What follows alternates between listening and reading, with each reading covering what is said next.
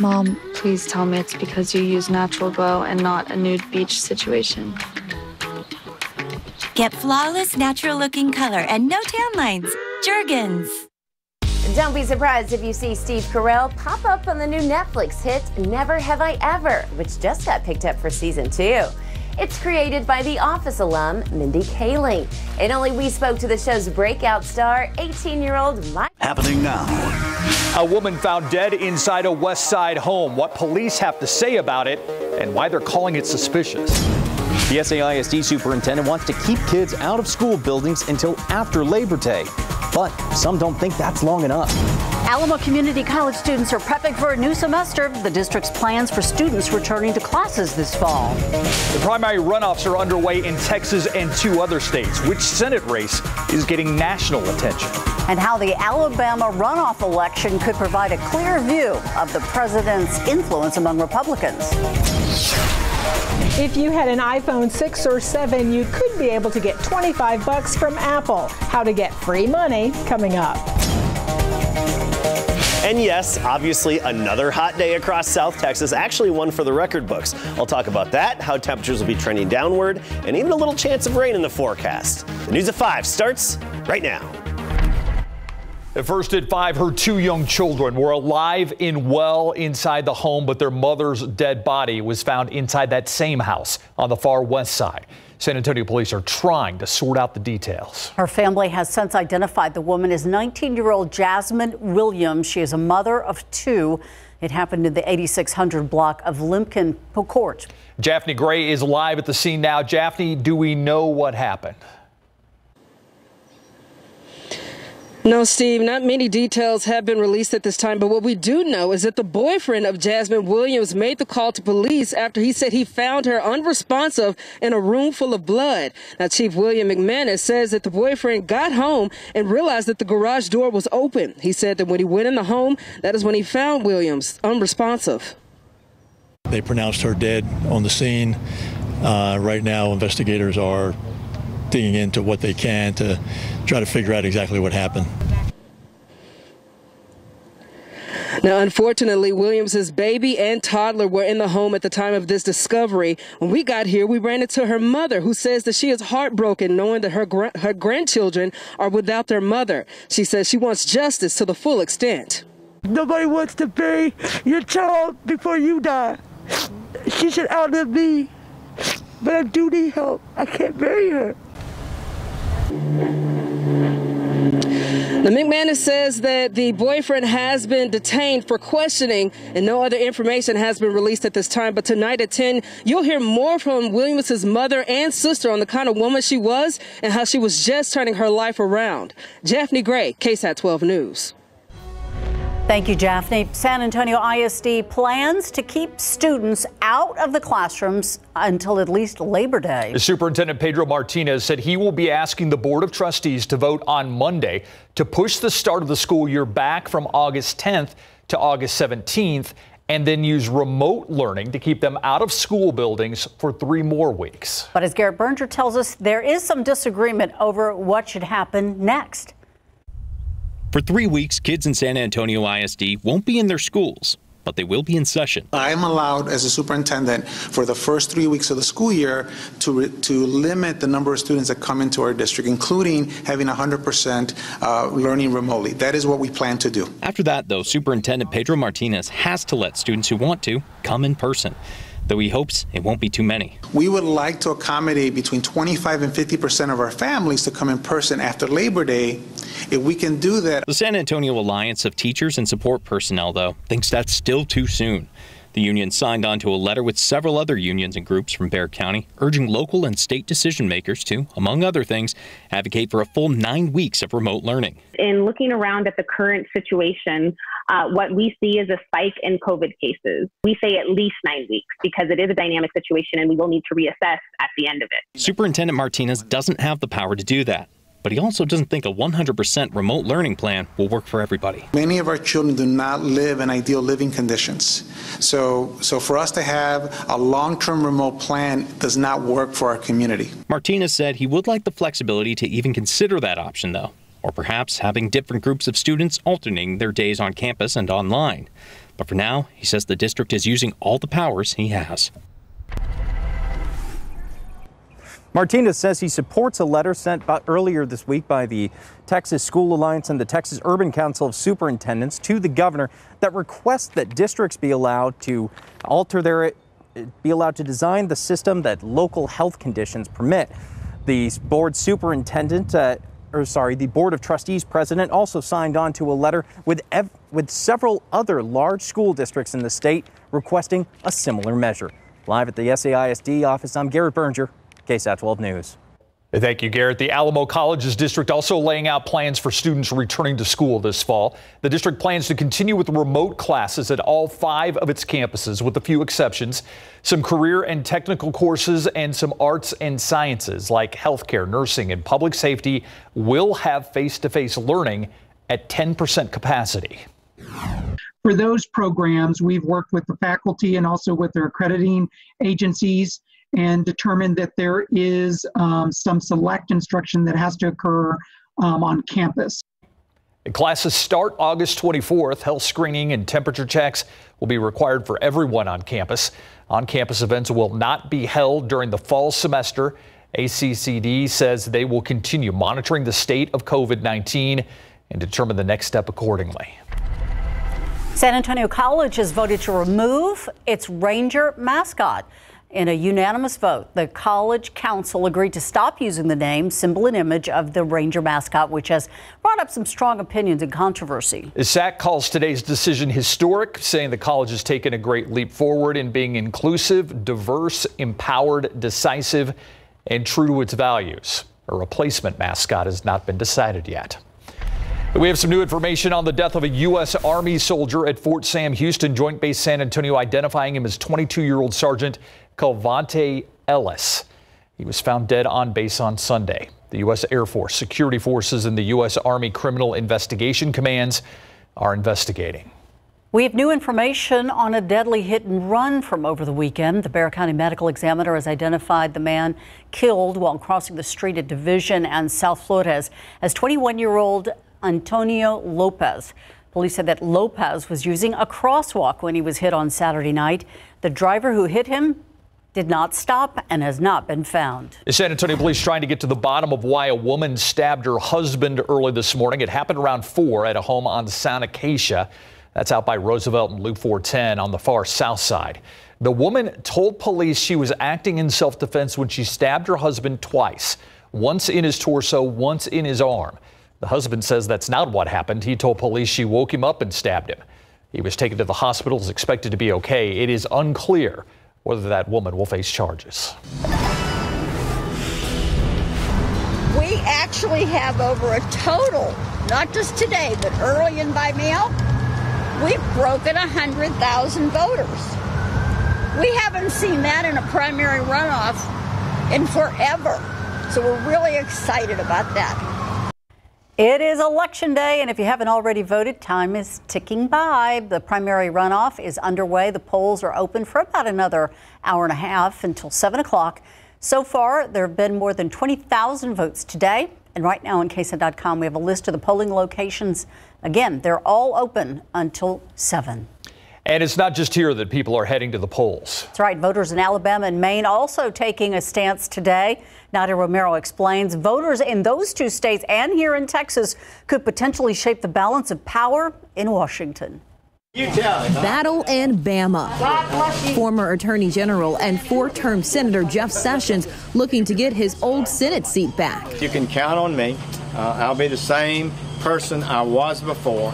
But despite holding the position for more than 20 years and never losing a race, Sessions is considered the underdog in the Republican runoff against former Auburn football coach Tommy Tuberville. I'm a fighter. I'm really a politician's worst nightmare. The biggest factor in the race, Sessions' former boss, President Donald Trump.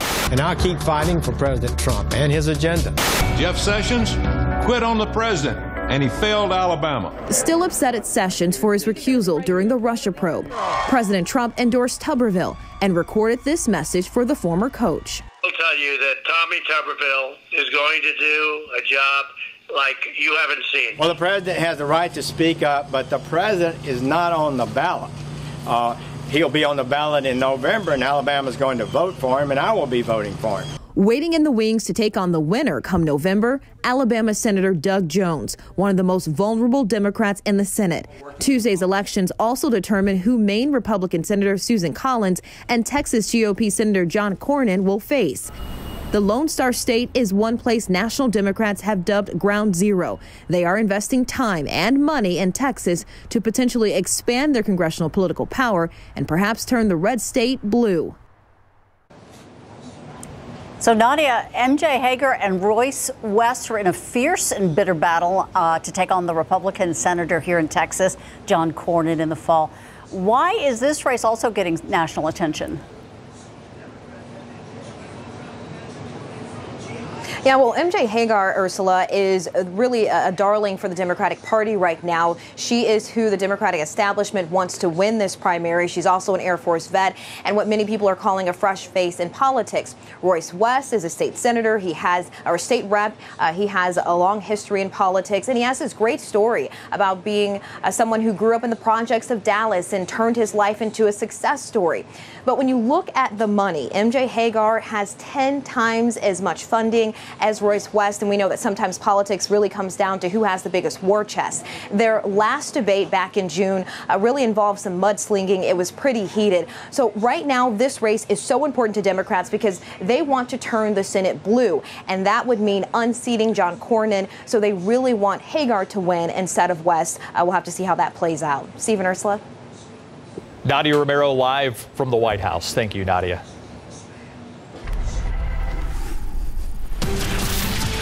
And we did it again today. We broke another record high temperature here in San Antonio. Now, yesterday was an all time July record high, making it to 107. Today, with our clear skies and similar conditions, it was another hot one, but we did shave off just a few degrees. We topped out at 105 today. That's well above the average of 94, and we broke the old record high by three degrees. And earlier this morning, we were in the mid 70s, which is actually fairly average. Taking a look at the weather watchers Warren's backyard in Del Rio 110, Eagle Pass 105 along with Floresville. 102 Windcrest, 104 Seguin. Woo, we're feeling the heat again today. Temperatures will get trimmed back a little bit, and there's a little glimmer of hope for some rain. We'll talk about all of that coming up. Thank you, Adam. The pandemic short-changing the economy, literally, and you may soon see the effects of it next time you're at a store. If there's a little less jingle in your pocket, there's a reason for that. The Federal Reserve says there's a coin shortage. You might see signs like this one posted at a store, and it's because of the pandemic. It has significantly disrupted the supply chain and the way U.S. coins are circulated. Coin deposits from institutions like banks to the Federal Reserve have declined significantly the past few months. The U.S. Mint says its production of coins has also decreased due to measures put in place to protect its employees from the coronavirus. With Federal Reserve coin orders starting to increase as regions reopen, the coin inventory is at below normal levels. Officials at the Federal Reserve say they're working to lessen the effects of the shortage to minimize supply constraints and maximize production. The agency is managing how it distributes the coins it does have and is encouraging institutions to only order enough coins to meet consumer demand. The Federal Reserve officials actually say they're confident the coin shortage will be resolved once more of the economy opens and coins go back to being circulated as normal. If you're one of the many Americans who may recall a lawsuit over Apple and over the company purposely aging its batteries to promote the sale of new iPhone models, well, now is the time to cash in. Apple is settling the suit, and we're going to explain after the break.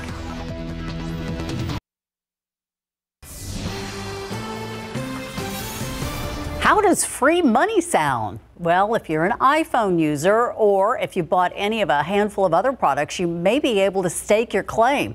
It's the result of companies settling big class action lawsuits, even as they don't admit they did anything wrong. As 12 on your side's Marilyn Moritz explains, it's up to you, though, to take action. Hello, money. Owners of various Apple iPhone 6s and 7s can now claim a piece of a class action lawsuit settlement. Remember Battery Gate? At issue, Apple's slowing speeds to offset errors caused by aging batteries, but not notifying owners. You may receive $25 per phone. The deadline to file is October 6th. You'll need the serial number or there's a search function. Don't forget your milk money, non dairy, that is. Califia Farms settled a lawsuit alleging they used fake vanilla instead of real stuff in some products. If you bought their almond milks, coffees, creamers, or yogurts in the past six years, you may receive up to five bucks without proof of purchase. Deadline is October 7th. If you bought various Cytosport muscle milks or protein powders, you can pump up your wallet. That lawsuit alleged misleading claims of leanness and protein content. For shakes, you can get up to $25, and for powders, another $25. No receipts needed. The deadline to claim is October 19th. And ladies, if you bought various You by Kotex products in recent years, you can file a claim and get up to $30. That lawsuit alleged defective products. The deadline to file is next month. If you qualify, you can file your claims through the links we put on our website. No, you're not going to get rich, but it is free money. Marilyn Moritz, KSAT 12 News. Live look outside with Sky 12. Well, You heard Adam say it just a few moments ago. Yep. We did it again. A record breaker. Our third record breaking day so far of this heat wave of 2020. And uh, it seems like it's just steam rising off downtown San is that What that is? is that what that is? Let's just call it steam and not haze. Yeah, yeah that's okay. basically what it is. Oh, just evaporating the last little bit of water that we have out there in the ground. Of course, the aquifer continues to take a hit. It is down another foot today. We're still in stage one watering restrictions. Keep that in mind. So, yes, we had another record high temperature today. Not as hot right around the corner. Temperatures will be taking a little bit of a trend downward, and there is a small chance of rain to talk about. Don't get your hopes up, but it's better than nothing. All right, take a look at the high temperatures across the state today. Now, you will notice that the map isn't exactly fully populated because it takes a little bit of time for everybody to report in. We haven't gotten the official reports at those blank locations, so I will update this at 6 o'clock. But for what we have now, here's San Antonio, Del Rio, Midland, all record high temperatures. Midland 111, Del Rio 110. So another record breaking day in Del Rio, breaking the old record by three degrees. You look a little closer to San Antonio and all across South Texas, 100 degrees just about everywhere. You have to get in the high humidity right along the coastline to be in the 90s today. Victoria 99, Corpus Christi had a high of 95, but I mean, we're talking 108 Cotulla, 102 for the high in Kerrville, Junction 106, New Braunfels 107. Current readings pretty much right there at the high temperature, maybe one or two degrees shy of what we had an hour or two ago when we hit our record high. So we're still above 100 right now, and that surf temperature, by the way, at 85 degrees off Bob Hall Pier. Now, here's the key. Tomorrow, in the low 100s again. We're thinking about 101, 102.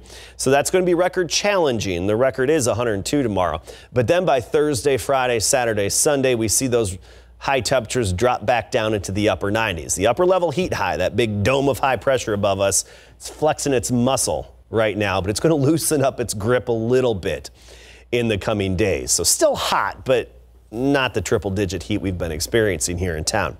And here's one reason why temperatures spiked again today. It's because the drier air in the afternoon. We get the mixing of the drier air aloft, mixes downward, and that allows our temperatures to jump into the low 100s. Whereas I mentioned earlier, you get into the higher humidity along the coastline, and that humid air just doesn't heat up as efficiently and as dramatically. Not a cloud in the sky locally. Few clouds in North Texas. That's about it. But there's the upper level heat high, the big blue H that's still in charge. Firm grip on our weather pattern, but there are some little changes coming our way. Subtle, but they're changes. Notice this inverted trough here, this upper level disturbance over basically the Florida panhandle by tomorrow. That's going to be drifting westward. Our heat high is going to drift northward. It's going to open the door for this weak disturbance to move just south of town, but be basically enough energy to kickstart a few showers or thunderstorms, mainly along the coastal plain. But there is that off chance we could actually have a few lucky spots closer to San Antonio. Mainly east of I 35 is that slight chance of rain as we get into Friday. So hot this evening. Look at this 8 p.m., still 98. 10 p.m. at 90. Midnight, mid 80s with some increasing clouds. And then tomorrow morning we'll start the day at 78 degrees with some morning low clouds. Otherwise, sunny, back up a little above 100, pretty close to that record high, and only a 20% chance of rain, unfortunately, in the forecast. That'll be on Friday. That slight chance, 20%. Otherwise, we are looking dry. We know the aquifer needs a drink of water. It's July in South Texas, and it's just not the type of weather pattern that brings the rain. Keep an eye on it. We've Thank got yeah, we've got some breaking news we want to bring you right now. This is from the Kirby area. Apparently, a house fire. Here you get a better look of it. Look at it. This is from the Kirby area. It looks as if it's coming from the back of the roof, and uh, you know firefighters are on the scene, but we, you see them in the backyard. Right. We're not seeing any water right now getting poured on there. Uh, again, this just coming into the KSAT newsroom, Sky 12 over the scene. This is in this town of Kirby. A house fire. It appears to be in the rear of the home. Looks like the something in the backyard. Yeah, I was gonna say, look, fire. we thought it was the roof. Now it looks like it may be actually something in the backyard. like that's a deck, perhaps. Uh, looks like a deck burned there. Uh, maybe a barbecue. Who knows? Uh, It's coming but- from the roof though as well, and it's it does not look good. A much different view as we get around to the backside. Uh, you can see the backyard also scorched, Completely which scorched, makes yeah. you wonder if this didn't start in the backyard and spread. It's hard to tell right now, but we'll continue to uh, keep an eye on it. You can see flames there in the corner of that house. See right there at the corner as we loop around, you get an idea of some of the flames there. But and again, there, there are people walking around, but again, the, I don't see any hoses in use there. yep. Sports is up next. Two NBA players have inadvertently broken the NBA bubble created at the Walt Disney World in Orlando, Florida. The most recent is Richaun Holmes of the Sacramento Kings. He admits he crossed the line. We went to pick up a food delivery. As a result, he's been placed back in quarantine for an additional 10 days, confined to his hotel room, he'll be subject to more coronavirus testing. Holmes apologized for his breach and says he still has eight days before he can rejoin his teammates. The same goes for the Rockets' Bruno Caboclo, who left his hotel room before his quarantine period had ended after taking his initial cor- uh, coronavirus test after entering the bubble. Inside the bubble, Spurs guard Patty Mills was asked about the breach. It wasn't me. I'll make that clear. My my boundary lines has been inside of the hotel room. Um, but uh, yeah, look, it, it, it is a bubble, and you know, like I, I stated earlier, that you know the health and safety was, was a concern. But I think um, you know you- you're still able to control um, a lot of that, um, regardless of the, the boundary lines that are already set. But um, you know, you just hope that everyone can cooperate and, and do what's asked of them because um, you know it, it is our health at the end of the day that's at stake here, and, and us just being able to get on the court and, and play. Spurs had the day off with not much to do since they're confined to the bubble campus. Lonnie Walker, the four, tweeting this out. Only four days in the bubble. I miss my dogs. Complete with Ron Burgundy in his glass cage of emotion. Compelling and rich. Indeed. like, I shouldn't have had milk today. Not at all. Yeah. Not today. Thank you, Greg. You got it. We'll be right back. We got a location on that fire we showed you just a few moments ago. This is the 4700 block of Stable Hollow. This is in the town of Kirby. Yeah, you can see they're actually putting some water on a shed in the back. We saw some flames a little bit ago. Of course, we hope to update this story coming up at 6.